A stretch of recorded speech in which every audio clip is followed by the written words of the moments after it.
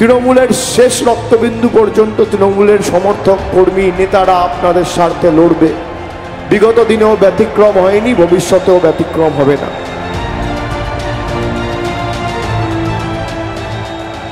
এবং মানুষের প্রতিনিধিকে আগামী দিন মানুষের জন্য কাজ করার সুযোগ দেওয়ার নামই তৃণমূলের নবজোয়ার।